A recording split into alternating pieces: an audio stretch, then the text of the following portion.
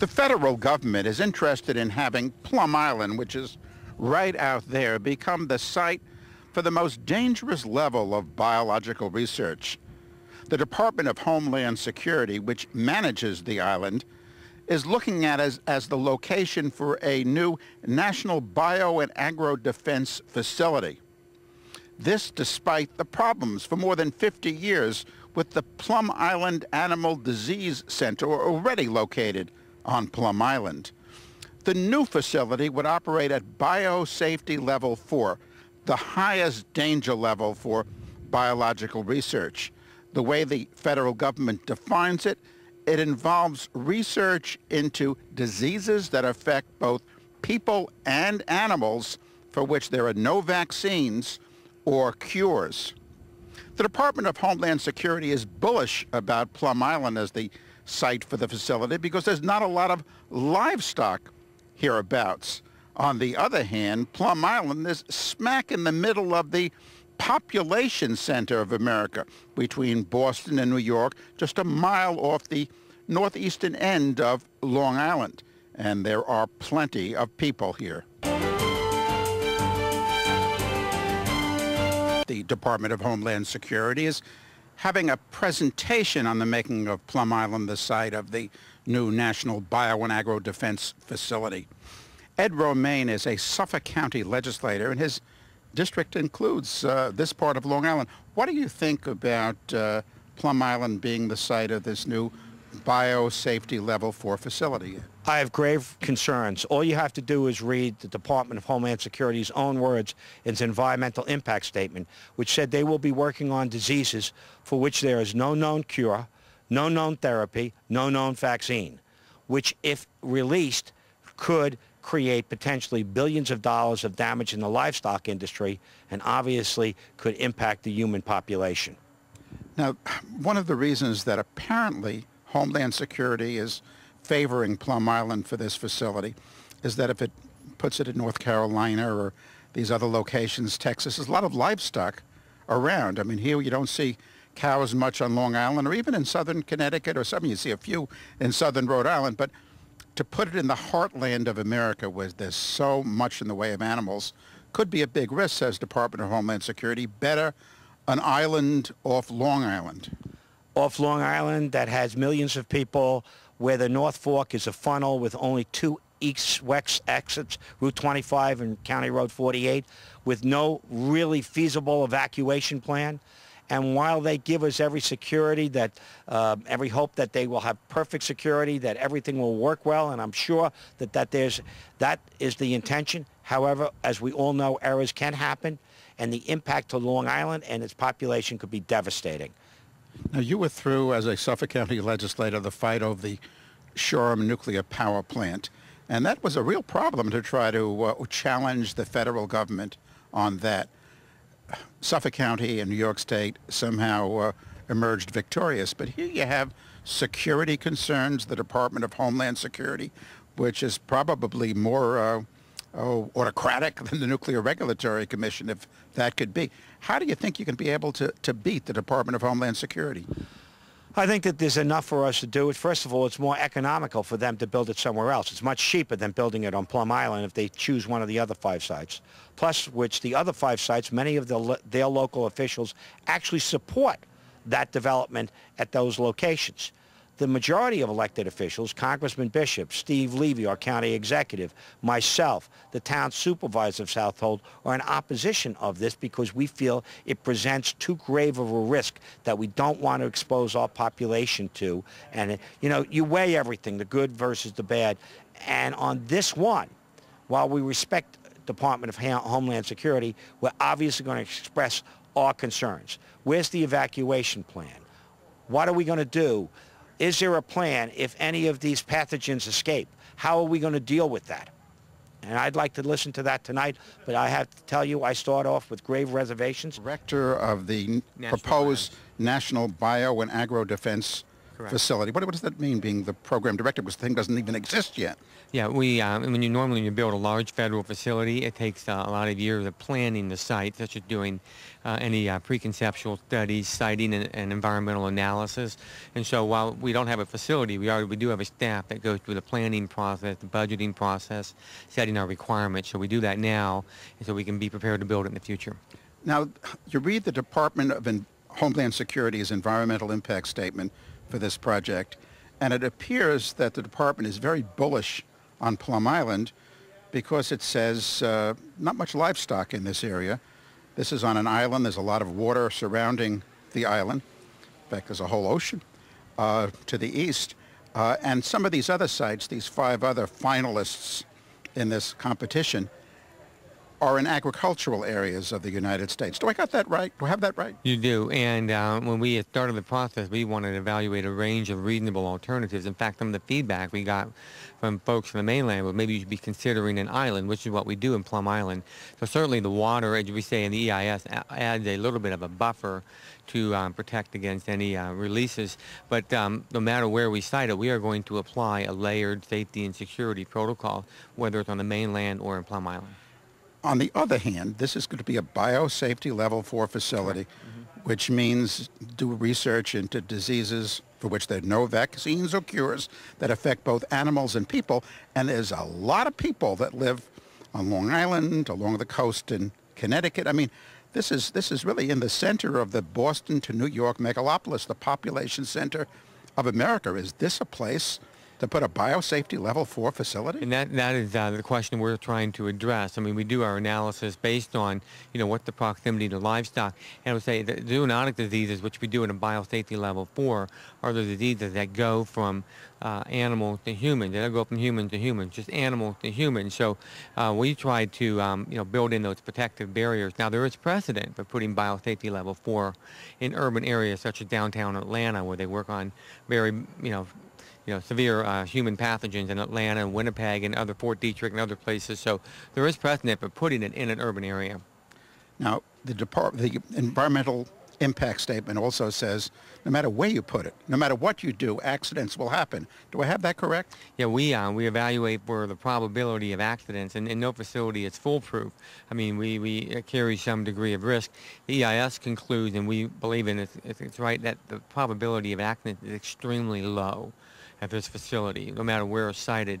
The consequences would, would, would be different for some Plum Island versus the mainland because we have a little more protection, but very, very low probability of accidents. Yeah, I mean, before the Chernobyl nuclear plant accident, the Soviets said there's a very low probability maybe every 10,000 sure. years we'd have a serious accident. Right. So you got to wonder when somebody says extremely low. And the other issue, which I think is in a lot of people's minds now, involves oh, a problem it's beyond human error, a problem from within. The Fort Detrick scientist who turned out to have been involved with anthrax and spreading anthrax and killing people. I mean, if something of that sort occurs here, and again, we're at biosafety level four, involving sure. the most serious diseases affecting animals and people, in which there's no cures and no vaccines. Mm-hmm. I mean, is this, why not put it underground somewhere in the middle of America, heavily guarded, so no livestock or no people would be affected if there is an outbreak. But that's something we would consider actually no matter where, where we site it at, what, what type of security protection we would need. That would come with a site-specific security plan, whether we need a berm or put it underground. Um, certainly we're following the situation at Fort Detrick, and certainly we are actually going to be involved in watching what the lessons learned that come out of that to see what we can apply. I will say, not just because of Fort Detrick, we're constantly reviewing our security procedures to see, you know, how they can be, uh, you know, improved and enhanced and so on and so forth. We feel with Plum Island, very safe. People have to shower out. You know, they cannot carry anything out with them. So we feel like we've got a very safe facility in place. And again, no matter what you do, there are possibilities, and the Government Accountability Office raised the possibility of terrorism.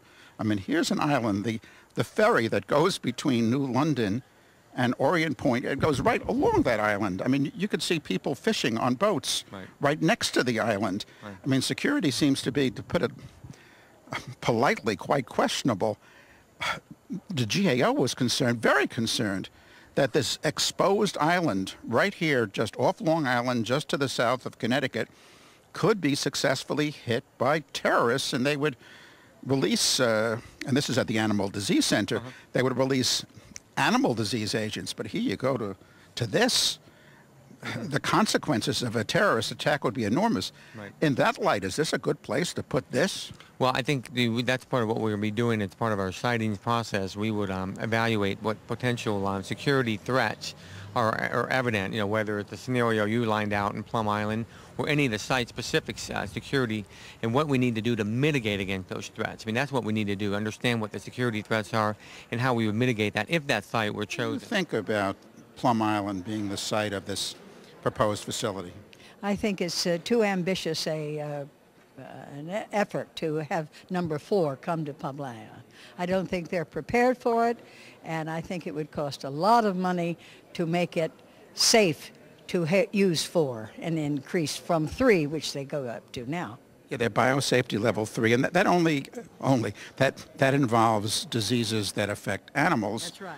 Biosafety level four are diseases that affect both animals and And people, beings, right. for which there's no cure or vaccine, which, I mean, in Greenport where you live, you're going to be, well, you're just going to be about, A mile and a half from Plum Island. well, I think a little, little, a little more than a mile and a half. I think about six or seven, but uh, that's still pretty close. Well, I, I just think that it's an ambitious uh, project, but I don't think that Plum Island is uh, up to it. Do you think that people are going to be heard tonight? And I recall that you, Mariella, have experience with the federal government, that in fact you worked in the White House during the New Deal. Here we are in a new century. Uh, New Deal was, well, well known for trying to, uh, to listen to people. Do you think the federal government today, as, as you observe it, listens to people like it used to back in those days? No, I think they're a little deaf. Why?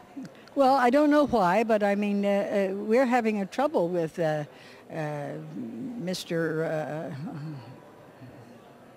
President, and uh, he doesn't seem to want to listen to anything. He's made up his mind and makes his announcements, and uh, then we're supposed to accept them. Do you think that that will play out with this Plum Island decision by the Bush administration? I don't know. He only has a few months more, so we're all getting very nervous. On the other hand, this decision is supposed to be made before the Bush administration is out. That is correct, and so we're we're concerned as to what kind of a decision he would make. And I'm I'm uh, I love the number four because it's the perfect number, but I don't think it should be coming to Plum Island. Debbie O'Kane, you've long been involved with Plum Island issues. You're a former executive director of the North Fork Environmental Council. That's correct. What's your view on Plum Island being the location for this biosafety level 4 facility? Well, I believe that there are still many, many unanswered questions, and we have been, we've had very strong opposition to this um, upgrade since actually 1999. I mean, this isn't a new issue out here. It's been an issue since 1999 when uh, a story first broke in the New York Times, and since then, um, the issue has been raised a number of times, and each time we get a strong showing of the public saying that this is not something that they really are in favor of. I mean, there's been quite a number of um, safety and security issues along with environmental issues for many years, and um, once again, a lot of those questions are not answered, haven't been answered over the years, and um, uh, with our elected officials who are also in strong opposition of this, we feel that um, the biosafety level four is not the um, is not the thing for, for the east end of Long Island and for Plum Island. Now, years ago, it was before 9/11, before the uh, well, the threat of terrorism was recognized as it is today, before the Department of Homeland Security. Was even created, yes. Now you have a Department of Homeland Security pushing for the biosafety level four, and them saying that uh, this facility, and they seem to be very bullish about Plum Island for this facility, Right. is necessary for national security. Now, how are you going to stop that, Debbie? Well, once again, I think that community opposition seems to be factoring pretty heavily in this decision. And um, once again, there are, a lot of safety and security issues that have not been addressed. And, and we as the public really need a large amount of assurances from the federal government, from the Department of Homeland Security before we would ever feel comfortable with the um, biosafety level 4 proposal. Would you ever be comfortable with, I mean, accidents can, in fact, their environmental impact statement says accidents will happen. Would you ever, in fact, be comfortable with this at biosafety level 4, this island? I think that um, as far as a biosafety level three, just going back to that, studying foot and mouth disease, I believe that that research is, is necessary. I think it's vital for this country. And I mean, we as neighbors of Plum Island have really come to respect the um, Plum Island Animal Dis- Research Disease Center for that particular work that they're doing. And what I would like to see is for that work to continue. We are also here tonight to listen to your comments. I hope you had the chance to visit our posters and ask questions of our subject matter experts who are in attendance today. DHS announced its intention to prepare an EIS to evaluate siting alternatives for the proposed NBAF on July 31, 2007. A 60-day public comment period followed during which comments were collected and issues identified. During the scoping process, more than 1,350 individuals attended eight public meetings, where nearly 300 individuals provided oral comments. Point out that we are legally mandated to evaluate Plum Island as a site under the National Environmental Policy Act. Public participation is a vital part of the process, and we will continue to keep folks informed as we go through it. I want to emphasize uh, that no decisions have been made. We are in the draft EIS phase. I know there might have been some confusion talking with some of you beforehand about various news articles that have appeared in the last few days about particular sites. Uh, no decisions have been made. That's why we're here tonight. We're following the process that we started two and a half years ago. And we are in the draft EIS phase getting your comments so we can make a better informed decision once we issue the final environmental impact statement. Under the National Environmental Policy Act, when we open the floor to formal comments, if you pose a question in your comment. We will not be responding to them verbally tonight. And I don't want you to think that that's a, a mode of disrespect by the gentleman at the front of the room. What we have to do is take each comment that we receive and go back and do a scientific analysis and breakdown and make sure we address it technically in the final EIS. So just to make sure that everyone understands, if you pose a question tonight, we're not answering them and we're not being disrespectful. We're following the requirements that are put forth in front of us. Many of us on the North Fork uh, are very concerned and have persistent and serious concerns regarding safety and security at Plum Island, concerns that are shared by the U.S. Government Accountability Office, which has twice in recent years, both in 2003 and 2007, reported on security and safety issues there. Though the DHS has indicated its intent to replace Plum Island with a new, modernized facility, that replacement may not occur until several years hence, if at all. In our view, the island is today and will in the foreseeable future be vulnerable to security breaches and pathogen theft because physical security arrangements are incomplete and grossly limited. Moreover, we question whether the island's obsolete infrastructure is adequate to support even a biolevel safety 3 lab. Given the island's history of incidents, we also question whether it will ever be able to adequately meet the level of security and safety required of a biolevel safety 4. Let me summarize some of our safety and security concerns. The lack of a full-time Federal Protective Service presence on the island.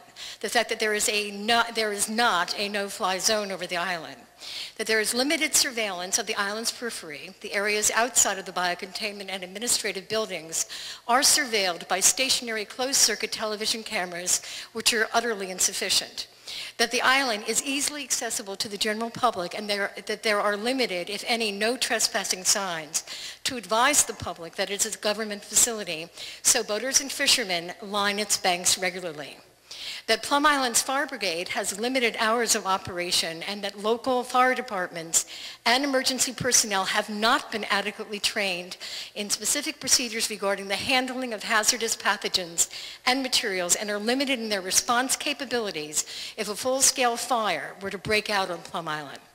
That background checks on students, foreign researchers, cleaning and maintenance personnel who have access to pathogens and work with or around infected animals are not routinely undertaken, are not done in all cases, and that those same students, foreign researchers, and maintenance personnel are not required to follow strict decontamination procedures and are not fully escorted at all times when and if they do so. We also share the GAO concerns regarding the lack of an incident response plan for incidents um, exceeding Plum Island security capabilities.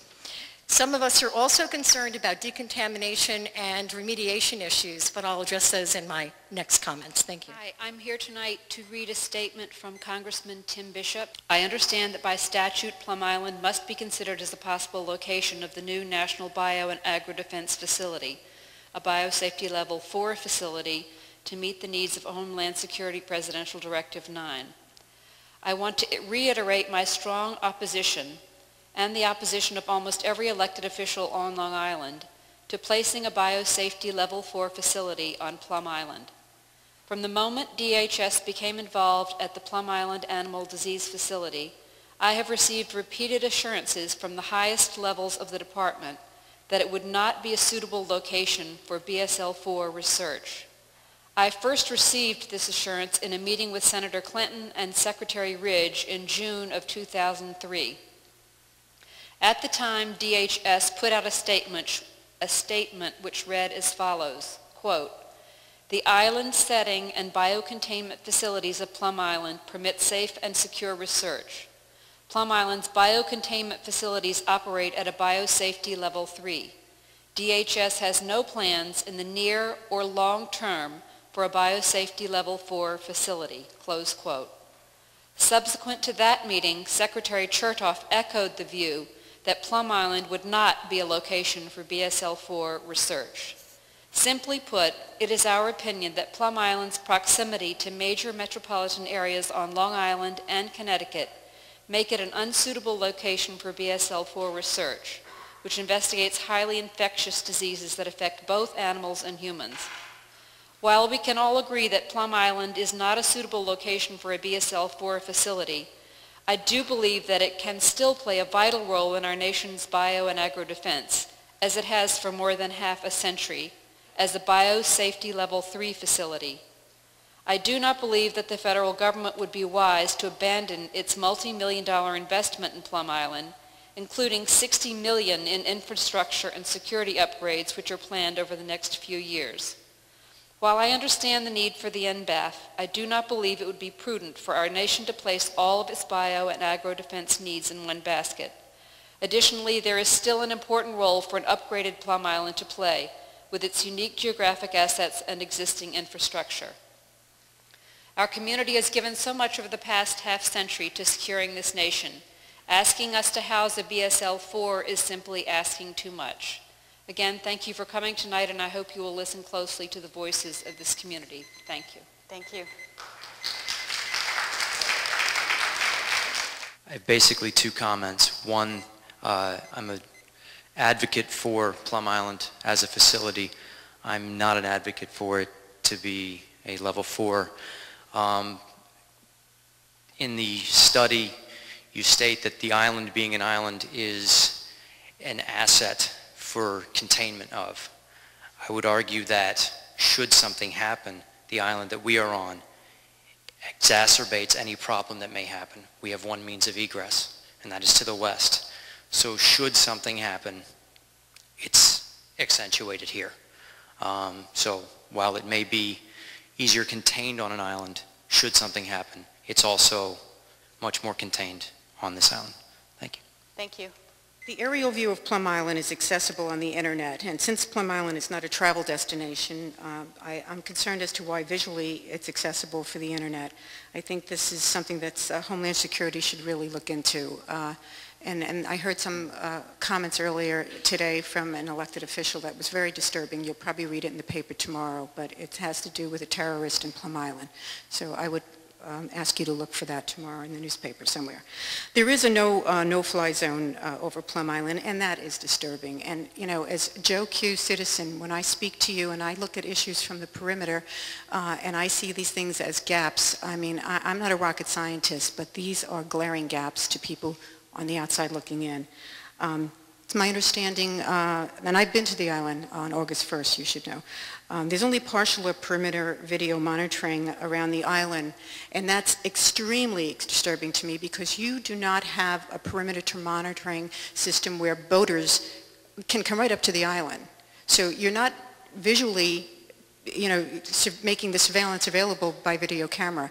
Now, if I go into a 7-Eleven, I, I'm on video, and you can see the size of cup of coffee that I bought, how many sugars I put in it, and if I put whole milk or half and half. So the fact that the island is video void on some of the island is, is really very, very disconcerting to me. Um, I, when I was entering the ferry the other day, uh, I was stopped as I was boarding the ferry, and I brought my purse as a prop because I was asked to stop and have my bag searched. And I will tell you the search was like this.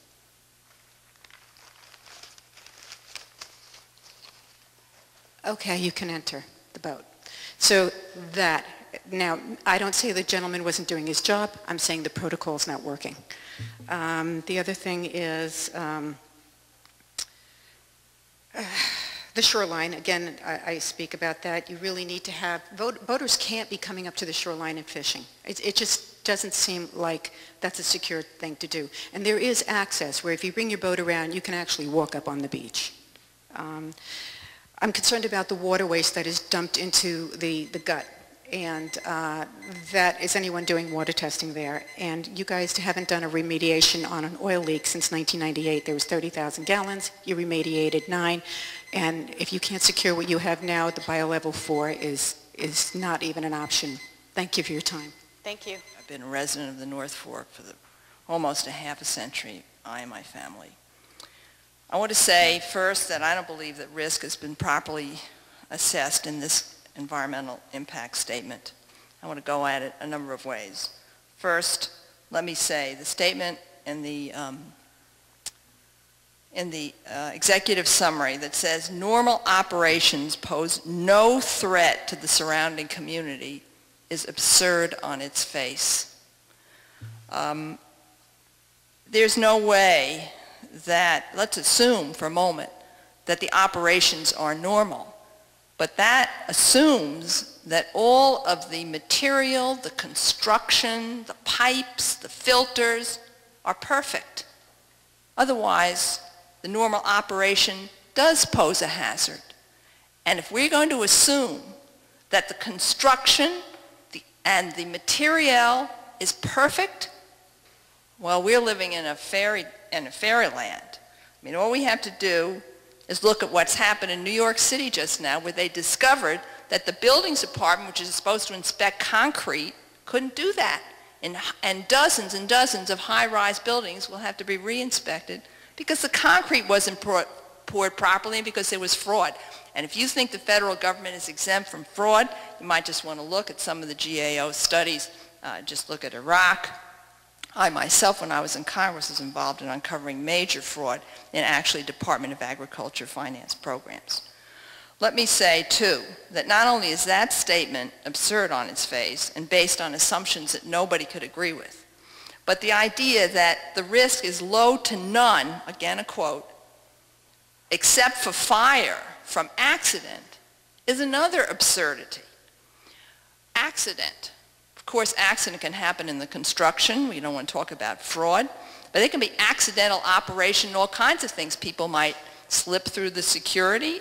There might be negligent operation of the facility. All we have to do is look at what happened a few months ago when some Air Force, when an Air Force plane carried nuclear weapons. This was a whoops. Well, what about a whoops here? A whoops here means that human beings are going to be affected. No discussion of intentional um, uh, risks caused by intentional acts. Think of what happened now with anthrax. In light of that, can anyone here, Can anyone here say that the risk is, is minimal, negligible, or whatever? You have people who are crazy. You have, I was a former prosecutor. You have people who are crazy. You have people who are disgruntled employees. You have people who are angry at their family, their lovers, their whatever. This is too grave a danger to human life, and this EIS doesn't deal with these issues. Thank you. I represent the people of the first uh, district in the New York State Assembly, which goes from Orient Point, Fishers Island, Plum Island, Shelter Island, to Brookhaven Town. I have two federal facilities in my district, the Brookhaven National Lab and Plum Island. And uh, I think I would like to contrast the two. And I think what we're dealing with here is a community, as you're hearing from the comments tonight, that is trying to build its trust level with the facility, uh, but the communication uh, and the dialogue between Plum Island and this community seems to be more of a, a, a, a more recent uh, dialogue. I attended one of the first community forums that Plum Island held in quite a number of years, just last year. So when I'm new to elected office, I'm in office three years now, so I don't have any uh, resentment to the fact, but other legislators and, and, prior elected officials who wanted to reach out and, and know more about the facility and maybe tour the facility and have a better understanding were rebuffed.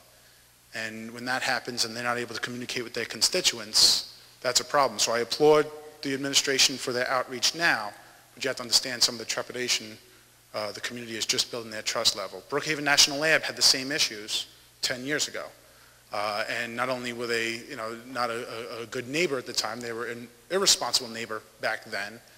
And there were some problems uh, in terms of uh, contamination of our groundwater. But they were able to reach out to the community, and, and have an open dialogue and an honest dialogue, and they went through a remediation process. And now I think there's a certain trust level with the community. Actually, I think they're celebrating, uh, it's more than 10 years, it's 25 years since they put together a, a citizens advisory panel that uh, continues that dialogue and, and that open conversation about what's occurring at the lab. I think that would be important here. But with this kind of history, we understand the, uh, the economic benefit that the uh, facility has uh, provided to this community in Connecticut in millions of dollars of, of salary. Uh, and we understand that it has uh, provided a, a, great deal of beneficial science. And, and I guess we're proud of that as we're, as we're learning about that. But as a level safety three, you are taking a look at disease that's passed animal to animal. Level four, you're looking at disease that is passed from animal and potentially to humans. And because we haven't had the ability as a community to have that kind of dialogue, we're not sure if we're completely comfortable with how the, the current protocols. So to ask us to sign on and be supportive of, of something that's even more dangerous could be very problematic for us. So I think I, I speak on behalf of the majority of my residents when I say no to a level safety four.